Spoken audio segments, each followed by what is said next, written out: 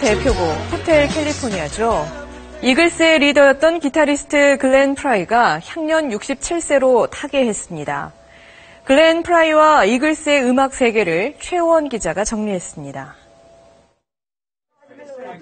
1971년 결성된 미국의 록그룹 이글스. 글렌 프라이는 창립 멤버이자 그룹의 리더로 이글스를 이끌며 전 세계 팬들의 사랑을 받았습니다.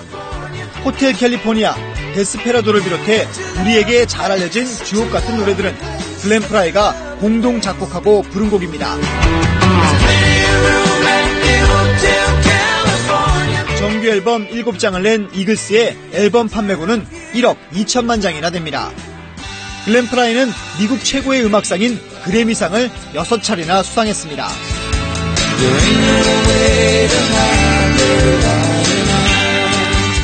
이글스는 1980년 한 차례 해체되기도 했지만 94년 재결성됐습니다.